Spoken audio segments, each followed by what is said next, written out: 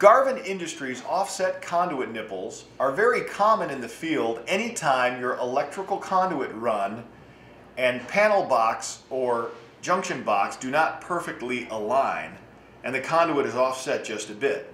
In order to adjust for this, we make a line of offset conduit nipples that allows the installer to pull the wire through the conduit and just kick it over slightly to avoid any potential conflict. Garvin Industries manufactured these offset conduit nipples in every different size of conduit on the market today.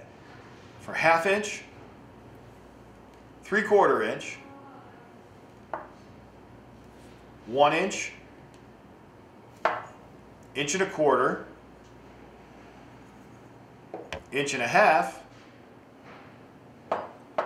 two inch, two and a half,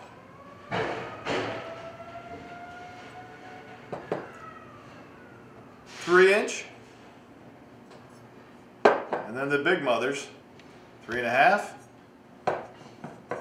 and four. As you can see from the four inch sample, there is a smooth machine threads on both ends so that a lock nut can be turned on quickly and easily when it's installed to a coupling or connector as well as to the junction box.